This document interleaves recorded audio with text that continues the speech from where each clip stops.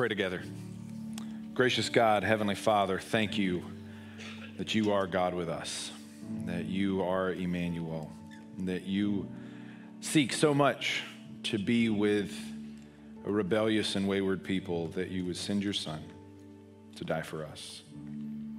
And Lord, I pray that as we open up your word, as we talk about uh, the shepherds, Lord God, I pray that you would help us to see in our own lives the ways in which you have shepherded us to bring us here today to hear your message, that our lives may be changed. And it's in your name we pray. Amen. Well, good morning. My name is Travis, and I'm one of the pastors here. I love getting to be one of the pastors here. It's a great, great job uh, because they're great people to work with. Um, you know, they're just fantastic, fantastic people. I feel like that didn't sound super believable. I really mean it. I really mean that they're great people to, work with. Um, one of the best things about just working in a church is you you get to experience like it's like Christmas. Uh, like when we start planning Christmas, we start thinking about Christmas a lot. So you kind of get a little bit of a longer runway in the ramp up to Christmas, which is good because uh, by the time everybody else is getting into it, those of us who are slower to excitement uh, have a little bit more runway. Right? We just have a little bit more time to engage, and it's good. Uh, but one of the things that I have found this year that I really love about Christmas that I'm kind of surprised by because I never really got into it before is Christmas cards. I don't know what it is. They're these little pieces of paper. But I don't know if it's, I think what we started doing in our house is we've started, um, we have like this uh, doorway in our home that Kim is putting the Christmas cards around this doorway. And then I was at a Christmas party on Friday, and uh, the people at that home were doing the same thing. Now, they are way cooler than we are and they have more Christmas cards than we do. And that's okay. I'm not asking for Christmas cards. I'm just, I'm recognizing that they're cool too. Like game recognizes game, right? So you're like, they are cool people.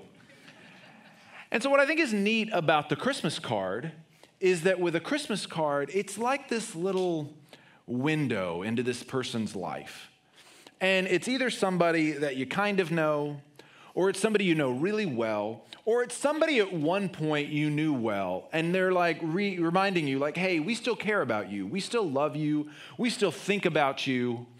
And here's the, you know, twins that we had over the last year. Or, wow, they had yet another child. Like, oh my gosh. Or, look, they're uh, it seems that they've moved, or wow, like this was clearly taken on a beach. They had a great vacation. Where was ours? You know, just stuff like that. The jealousy of the Christmas card. It's great, it's fine.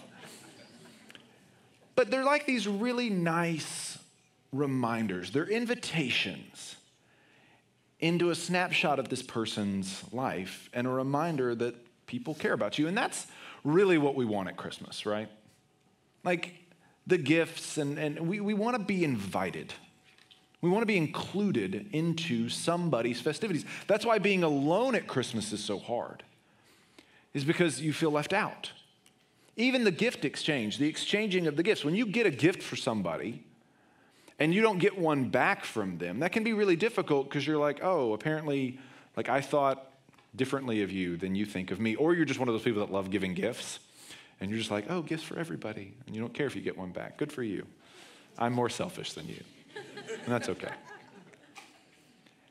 But I think one of the things that we miss because we have heard about Christmas for so very, very long is that we don't expect necessarily to be included on God's Christmas card list. And I know that sounds cheesy.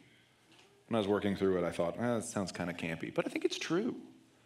Like, I don't think we think about how much, even if the only time, the only time you think about God is during Christmas and maybe Easter, God still sends you a card. He still sends you an invitation. He still wants a relationship with you. He still wants to remind you that I want to talk to you more than just once or twice a year.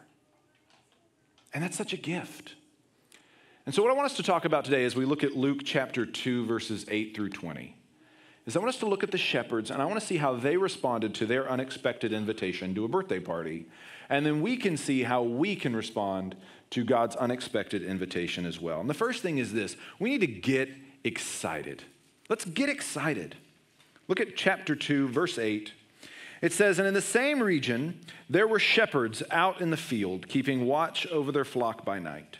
And an angel of the Lord appeared to them, and the glory of the Lord shone around them, and they were filled with great fear.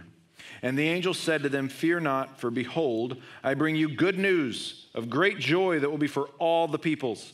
For unto you is born this day in the city of David a Savior, who is Christ the Lord. And this will be a sign for you. You will find a baby wrapped in swaddling cloths and lying in a manger. And suddenly there was with the angel a multitude of the heavenly host, praising God and saying, Glory to God in the highest, and on earth peace among those whom he is pleased. Shepherding, despite what David would have us believe about lions and bears and giants, was an incredibly boring job. Your job as a shepherd, and at this point in history, they're not even your flocks, they're, you're hired out, you're a hired hand is to sit there. Your job is to watch them eat, watch them sleep, watch them mate, and then bring them back home safely again. It is a boring profession. And what's more is you want boring. It's a lot like being a cop or a firefighter. You don't want an exciting day, you want a boring day. Because if, if, if an exciting day happens for a shepherd, that meant one of the sheep got lost or got eaten, or a lot of the sheep got eaten, not a good day. And again, remember, these aren't your sheep. You're a hired hand. You're hired out to somebody else. Now, it's possible, based on the fact that this is in Bethlehem and it's really close to Jerusalem, it's possible that these were like the temple sheep, and maybe these were even priests that were watching the sheep. Regardless, these are not their sheep. And into this monotony comes a whole lot of excitement maybe more excitement than anybody really anticipated. This angel shows up and says, I have good news of great joy for all the peoples. You're going to find a baby in Bethlehem, which is a really big deal because that was the city of David. The Messiah was supposed to be born there. And you're going to find him in a manger, which I know things were done differently back then, but babies were not put in feeding troughs then either. And you're going to find him wrapped in swaddling cloths, which was also a sign because Babies, royal babies, were not wrapped in swaddling cloths. Royal babies were pampered, and, and, swaddling cloths was like a, like a low income thing to do for your baby. And so, what the angel is telling the shepherd is hey, this baby is one of you guys. You're going to be welcomed. You're going to, these people are your people. You're invited to this party, this unexpected birthday. And don't worry, I know it's a king, but you're going to fit right in. Just go on in. But one of the things that the angel says, and the angel says it to Mary the angel says it to Joseph, and the angel says it to the shepherds. We talked about it last week. Do not be afraid. And I got to wonder, what are these guys afraid of? Now, the, the, the, logical thing is to sit there and be like, well, some guy just popped up out of the middle of nowhere, maybe right next to them, maybe in the heavens. And now they're scared of this angelic being. That's fair. Because God appearing to you after God has been silent for 400 years could be terrifying. It could feel like, oh my gosh, he's about to wipe us all out right now. We're totally scared. Or maybe they're afraid that their sheep are just running wild. Because when the angelic host appears, right? Like all of, I can't imagine their sheep were just like, oh, cool. Look at that which would have just sounded like, bah, but if you speak sheep, you know what they said. And so the, the sheep maybe are just running around and they're thinking, oh my gosh, we're losing our sheep. We're going to lose our jobs, our livelihood. This is it. The angel says he has good news of great joy. News isn't always good. Even when somebody says that it's good news, it's not always good, right? We hear news all the time. Not a lot of it is good. We live in a very uncertain time. Or maybe they're told there's a king that was born. Political change in that day and age was sometimes, very often, met with violence. We know this is what happens. Herod is growing in age. Herod the Great, who's the king over the area, he's growing in age. And as he is growing in age, most scholars believe that he's struggling with dementia at this point, and dementia and paranoia. He is so paranoid about being assassinated that he has his own heir killed. The man is slowly losing his grip on reality, and he wasn't a nice person before that. And so the news of a king for shepherds might have been like, oh my gosh, what is this just going to mean for those of us who have to live under this guy? This may not have been good news. This might have been terrible, fearful news. Don't be afraid carries a lot of weight. We talked about it last week. Some of the same things the shepherds were afraid of, you might be afraid of today. You might be afraid of God's opinion of you that there is not peace between you and your creator. That you, when I said you get a Christmas card from God, you're like, yeah, but it's got flames on it. God doesn't want anything to do with me. Or maybe you're afraid of news. We live in very uncertain times. I don't know what, what's going to happen. I feel like we've lived in uncertain times since COVID. And even as we've come out of it, we're still trying to figure out what we're doing and what life is like. It's very difficult. Maybe we're afraid of losing our jobs. Maybe you're like, man, I think, I'm, I think my company's just holding on to me through Christmas because they're trying to be nice. But once the new year rolls around, like, maybe there's fear there. Or maybe you're afraid of political change, or maybe you're afraid of the future.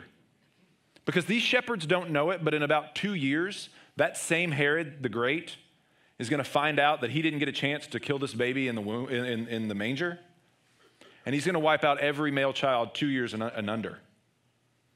And you better believe that this town is small enough that some of these shepherds, it was their kids that got killed. It was their cousins, their nephews. They probably would lose somebody in that infanticide that would take place. There's lots to be afraid of. You know what the opposite of fear is? You guys are expecting me to say faith, yes. I did a thesaurus search this week and I looked up antonyms. There's a lot of different antonyms for fear. Two of the ones they give are peace and joy, which are both listed in this passage. Peace on earth, goodwill to men, and good news of great joy. Good news of great joy. And I think this is one of the things that chokes out the excitement that we have at Christmas is fear. We're afraid to be excited. We're waiting for the other shoe to drop, right? We spend all this money on gifts and we're like, God, no, that credit card's gonna come bill in January. It's just gonna come due. And you can't enjoy it because you're like, I'm trying to figure out all the ways to make sure everybody feels loved and cared for and gets what they want. But at the same time, I'm also trying to figure out how to put food on the table for the other six months of the year until we pay this off. Maybe you know you have to have a procedure. Maybe you know, like, just it's different this year. Maybe somebody's not supposed to, that, that's going to be there that's not supposed to be there, or maybe there's somebody that's not there that you want there. It's just different. There's lots of reasons to be afraid at Christmas, and it chokes out our excitement. Now, are we commanded to be excited at Christmas time? I don't know that we are. But I do think we are also the intended recipients of the good news of great joy because why? it's for all the peoples. And I did the little hand gesture as a kid. You open the doors of the church, and there's all the peoples, right? Like we know that. We count as all of the peoples. God has a message of peace on earth, goodwill to men, good news of great joy. And you're thinking, Travis, look at the news. There's not peace on earth. There's this great U2 song uh, called Peace on Earth, and it's basically him lamenting the fact that peace on earth doesn't seem true, doesn't seem real. But the message of peace on earth here is that there is a way now between the creator of all things and his created people. There is a pathway forward to peace. There's peace between God and man. You are given the opportunity to embrace peace and joy this time of year. And again, our society sets aside six weeks out of the year to talk about peace and joy. Like they may not believe in it, they might genuinely think it's true. You might think it's a marketing ploy that Target puts up so they can get you to buy some decorations that say peace and joy. And all of that's fair. But here's the thing they want to believe. We want to believe that there's something magical about this time of year that brings peace and joy. We want to believe it. And so if you're looking for real peace and joy, you've got to go back to the gospel. You got to go back to that, that, that field outside of Bethlehem. You got to go with the, the shepherds from their starting point, from hearing the good news, and you got to return to them. We got to recreate that journey spiritually and mentally. You've got to do it. That's why you need six weeks to ramp up for Christmas time. Because you got to recreate this act. Now, how do we do that? You got to find a way to make it new. Because a lot of us have heard the story. When I was reading it just now, you're probably like, yeah, we know. And you probably heard it in Linus's voice. And, and like, we've heard this so many times.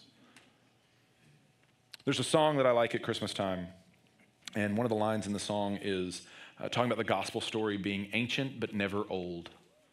And I think that's like the sweet spot recognizing, yeah, this is an ancient story, but it's not old. It's not tired. It's not worn out. I got to go back to the manger. I got to go with the shepherds. So, how do we do this? Well, there's a couple ways we can do this. A couple ways we can rediscover uh, the, the freshness, the excitement of the gospel again, well into uh, maybe having heard it a lot. First, might I suggest some different music? Music is fine, it's good. Maybe less jingle bell rock, less rocking around the Christmas tree. Anything with rock in it if you've got to say it's rock, it's not rock.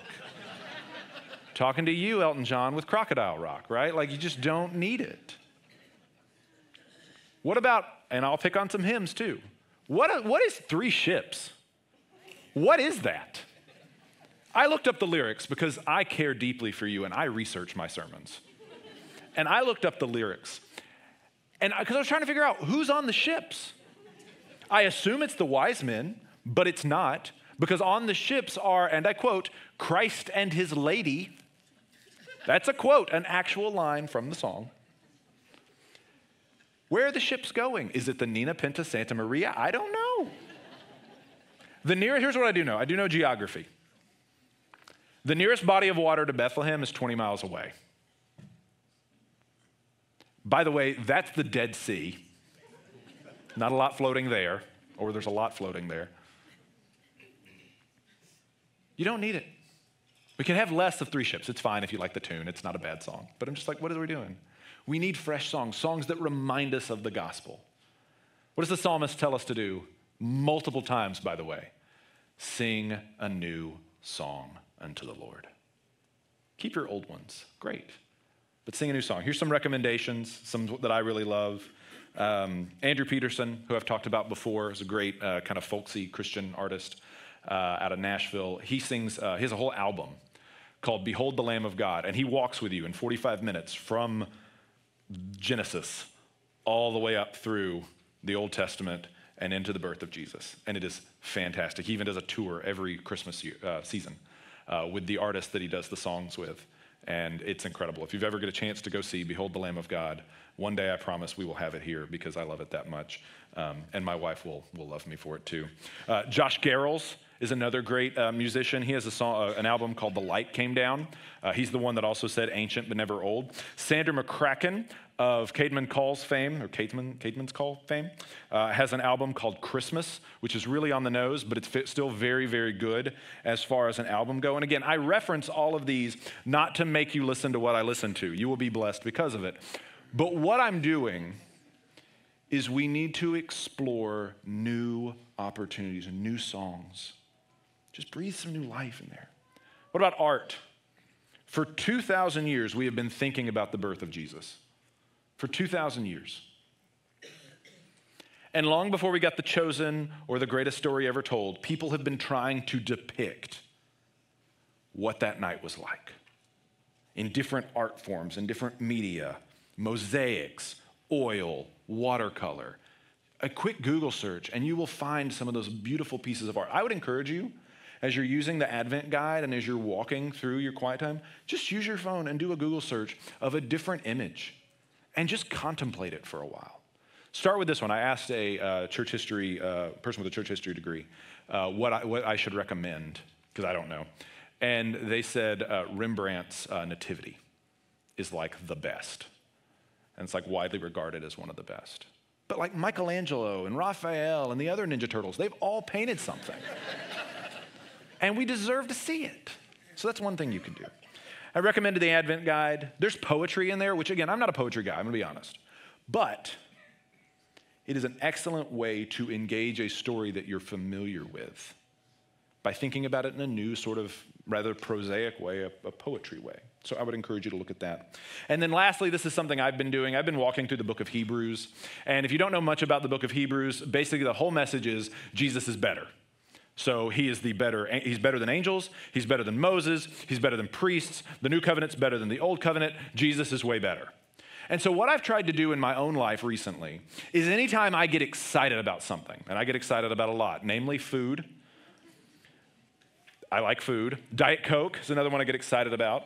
Uh, this week, uh, I had a Tuesday evening where I, was, I had free, it was nothing was going on, and I was super excited about that. And what I'm trying to train myself to do is this one sentence liturgy, which is, yeah, that's really good, but Jesus is better. That's really exciting. That's going to be so delicious. But Jesus tastes better than that. Jesus is going to be sweeter than that. Jesus is better than that. And it's helped. It's really helped kind of not diminish the excitement, but really put into the right place where that excitement should be. So I would encourage you uh, to do that. Join me with that of just Jesus is better. And I've let that kind of fuel on my, my time with him uh, this this Christmas season. So we get excited, but we don't just stop there. We got to get moving. We got to start moving. Look at verse 15 of chapter tw- uh, 2. When the angels went away from them into heaven, the shepherds said to one another, Let us go over to Bethlehem and see this thing that has happened, which the Lord has made known to us. And they went with haste and found Mary and Joseph and the baby lying in a manger. And when they saw it, they made known the saying that had been told them concerning this child. And all who heard it wondered at what the shepherds told them. But Mary treasured up all these things, pondering them in her heart. And the shepherds returned, glorifying and praising God for all they had heard and seen, as it had been told them. So the shepherds don't just say cool and go back to work. I feel like that's something we would do in our modern day. We'd be like, well, I need to finish these reports. I would really love to clear off my desk before I took, you know, the, uh, an early lunch and go and see this baby. Um, you know, the market closes at such and such, and we just can't really leave our desk. But these shepherds, they leave with haste. And I imagine them sweeping the village. Again, Bethlehem's not a big place, but all the angel tells them is to look for a baby in a manger. So they've got to like look in people's houses. And I imagine them like knocking on doors and being like, hey, y'all got a baby in there? We're looking for one in a manger. Oh, funny you should say that. Here's one. You know, like, I just feel like, the, and, and, people would have gone with them. They'd be like, why are you looking for this? Well, it's a long story, but basically an angel appeared to us, and oh, cool, we want to look with you. And so, like, they probably like picked up people with them because the, by the time they tell Mary and Joseph what had happened, there's a crowd there because Mary treasures things in her heart, but everybody else like thinks it's just crazy. They're like, oh, that's amazing, right? And when they get to Mary and Joseph, like I said, they tell them what they saw. They relate the story to them. They say, This is what we experienced, this is what we've seen. And then once they're done, they go right back to their lives such as they were. But I bet you nothing was ever the same. I bet the next night they were sitting there like, dude, like this time last night, we were just minding our own business and boom, there was an angel. Or maybe, maybe the next year, they were like, hey, remember this time last year? That angel showed up and there was the people, the, the other angels. Or maybe they were like, you know what? It was a night just like this just like this, real quiet. And I bet you there were, were shepherds, maybe the grandchildren of the grandchildren of the grandchildren, who would brag to their coworkers, hey, you know what? My dad was one of the shepherds that was here that night. My mom had just brought him some, some stuff from the house to keep him warm because it was cool, and just kind of go through. I want to dive into this a little bit more. I want to think about the shepherds because when they hear from God, they do something. It changes them. It changes them. They don't sit on their hands, they don't wait. There's some kind of a response, a physical, embodied response to what God says to do. The angelic message deserves a response. And we live in a culture now where it's such a wait and see culture, right? Like we hear on the news and we're like, well, let's wait and see what happens. Let's see what, God, what, what, what, our, what our government's going to do to respond to that. Let's see how the stock goes up or down to that. Or, well, you know, we need to make some decisions about our employees, but let's wait. Let's wait on that. Let's see. We even do it a little jaded. We get a little jaded, even when we get like good news, right? You get an announcement from like a cousin who's getting married, and you're like, you know, the family doesn't really like the person they're marrying. And you're like, yeah, let's see how long that lasts.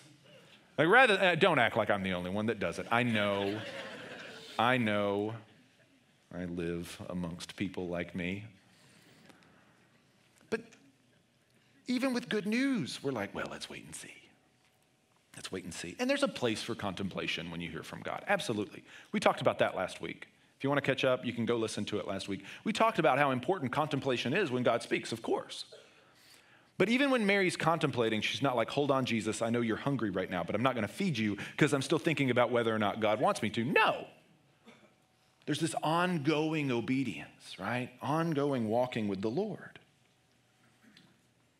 They got to get moving. We got to get moving. You know why the shepherds get moving? It's because this was a once in a lifetime invitation. They were never going to get invited to another king's birthday, ever. Certainly not a Messiah's birthday. This is it. Now, I don't know about you. I don't get invited to a lot of Christmas parties. That's okay. I'm an introvert. It's great. But maybe you do. And you probably have to turn some down. You're like, God, we just can't go to so many. We can't do so many. And so you're going to have to pick and choose. But if you got an invitation from like Buckingham Palace, that was like, you are cordially invited to, I'm not going to do the accent, but if you're cordially invited to like come and celebrate Christmas at Buckingham Palace, all expenses paid, you would go, right? I mean, I think most of us would go. It's an experience, it's a once in a lifetime chance to celebrate Christmas with the king and his family. Neat, cool. I, I would have rather hung out with the queen, but still. the shepherds receive this unexpected invitation, and the only people who think that they don't deserve to be there are the shepherds. If I showed you a nativity scene and I didn't have shepherds included, you'd be like, Where are your shepherds? The shepherds are the only ones that think, ah, we don't belong here. You know why I think, this is just a side note, this is just me kind of rambling on. You know why I think the shepherds get, get invited by God? He's inviting his coworkers. God's a shepherd too. He's like, oh, they're in a related field. This is what I do. I shepherd my creation. I guide them. I care for things that can't take care of themselves. I care for people who can't take care of themselves. That's what shepherds do. And so if my son's going to be born, I'm going to invite my coworkers to come and celebrate with me. And you see it. Abraham, Isaac, Jacob, shepherds, Abel, shepherd, King David, shepherd. After King David, every king is referred to as a shepherd of God's people. Jesus is the good shepherd. If you are working in a field, and again, this is a total side note, but if you work in a field where you are responsible for the well being of even one other person, you are in a related field to God. If you're a CEO, you are a shepherd. That is your job title. Change it on your business card. You're not a CEO anymore, you're a shepherd. If you're a doctor, you're a shepherd. If you're a nurse, you're a shepherd. If you're a teacher, you got little lambs, you're a shepherd. God loves shepherds. And that's why they get invited to Christmas. That's why they, we are invited as well, because God wants us to join Him in the shepherding of people. But this also tells us why we don't get moving when God invites us. And this is going to be hard to hear. We don't get invited, or we don't get excited, and we don't get moving when God speaks to us because we think we deserve the invitation. We think we're entitled to the invitation. We think we're entitled to it. We don't have the same response that the shepherds did because we don't grasp it as an unexpected invitation anymore. We think, oh, yeah, this is just another Christmas card from God. I get one about this time every year. It's fine because I go to Christmas and I go to Easter and it's fine and I hear about this and then I can go back to doing what I want to do. We think we deserve Jesus. We think we deserve him because he's just another present up under the tree. And what we do, and again, I'm going to step on toes. What we do is before we have our piranha based feeding frenzy of presents and food, we say, okay, hold up, everybody. We got to read the 20 verses of the Christmas story. Now we've sanctified our materialism. Let's dive in. And it's just opening the Bible at Christmas time is just opening up another gift. Thanks, Jesus. Cool. It's like the ornament you get from your grandmother. Thanks, Grandma. Now, where's that iPad you got me? You know I'm right. We sanctify or we attempt to sanctify with oftentimes just lip service. The things we really get excited about Christmas. Because what we've done is we've flipped the invitation. The unexpected invitation does not come from Jesus to us. We give it to him. We think he should be like, oh, wow, I got a Christmas card from so and so. I didn't even know they thought about me anymore. Apparently, they only think about me at Christmas. Make Jesus the object of our unexpected invitation. It's even in our language. How many of you came to Christ? Please don't raise your hand.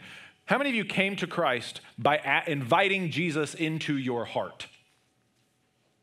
We use it in our language. The fact that Jesus responds to us, not the other way around. We've become passive in our relationship with Christ. We sit around and wait for him to do something. You know what happens?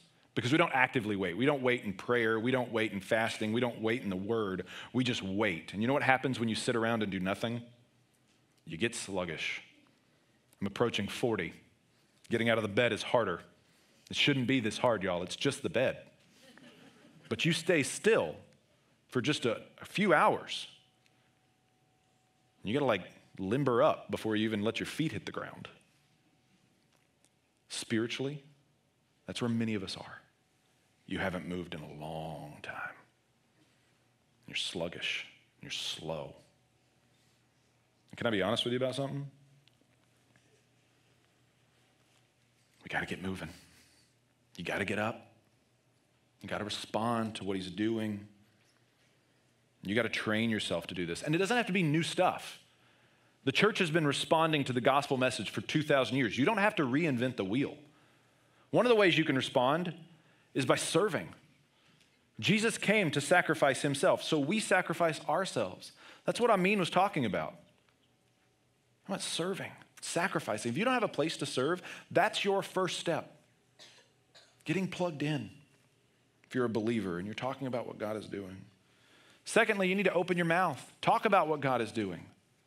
It's one of the things I loved about the Ashton story from last week. They go through this terrible fire, they lose everything they have, and they are pumped because guess what? It's now this platform for them to talk about what God does in their life. Because everybody wants to talk about a fire. Thirdly, confession. God, confession's a big one. Because all of us are sluggish, right? All of us have had moments, times, seasons where we think everything is better than Jesus. And so we actually pursue things other than Jesus. And so confession winds up being this really big part of our relationship with God that we think He doesn't want to do.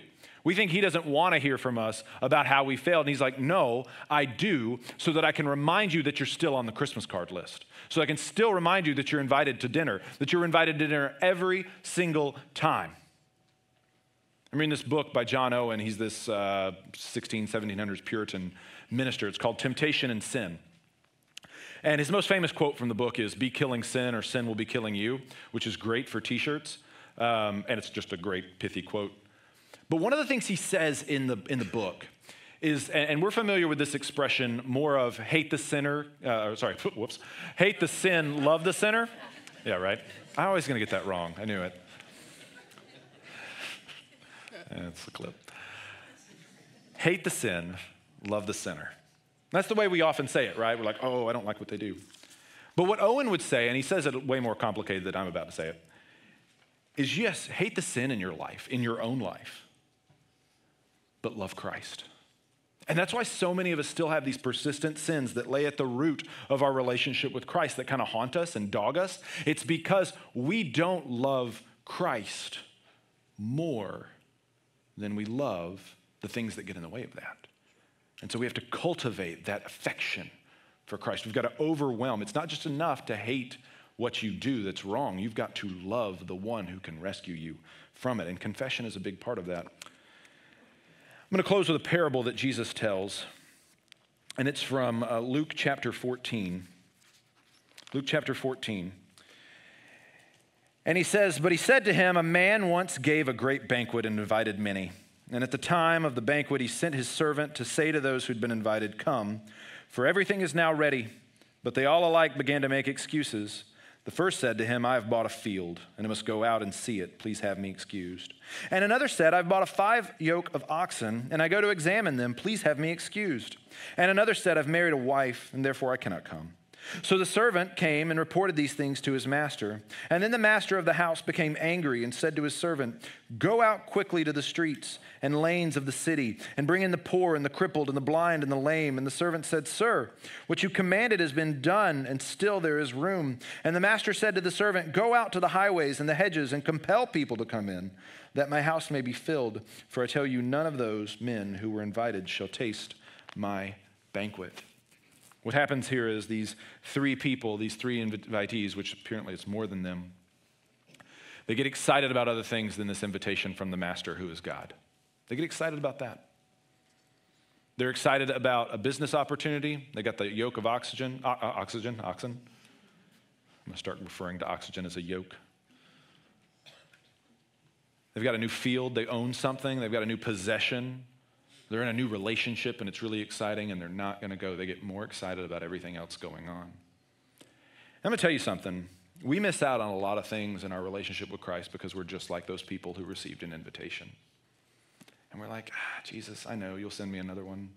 I'll just wait. I've got other things got going on right now. I've got other things I want to do right now. And it leads to sluggishness and a slack relationship with God. Can I tell you something? That's been my year this year.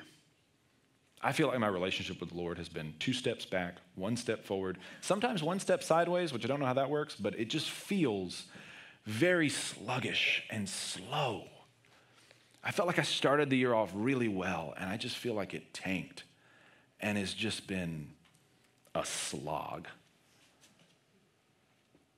And the good news of the gospel is that Jesus came for people who are sluggish. He came for people who are slack. Because guess what? Just like grandma sends you a Christmas card every single year, Jesus sends you a card every single year as well, saying, I still haven't forgotten about you. I still love you. You're still invited. And what's more is, I want your house, I want your walls, not just your doorway, to be filled with a notice from me once a year. I want your life to be papered with communication from me to you. Get excited, because your God cares enough about you that even when you are not holding up your end of the relationship, which is always, He still loves you. And the reason why you know this is because Jesus Christ was crucified, buried, and resurrected. He is the means to peace with God, and therefore, He's the only invitation you need to be invited again and again and again.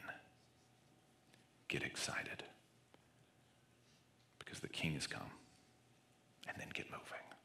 Let's pray. Gracious God, thank you so much for the invitation that is your son. Thank you that rather than nailing it to a wall, you nailed him to a cross to pay for all the times I ignored you, all the times I thought other invitations were better, in all the ways that we have been slack and sluggish and openly rebellious, Lord. You have covered that all up with Christ. I pray that we would get excited about that. I pray that you would make that news good to those ears who are tired of hearing it, who have grown weary of hearing it, who have turned a deaf ear to it. Open our ears and our heart. It's in your Son's name we pray. Amen.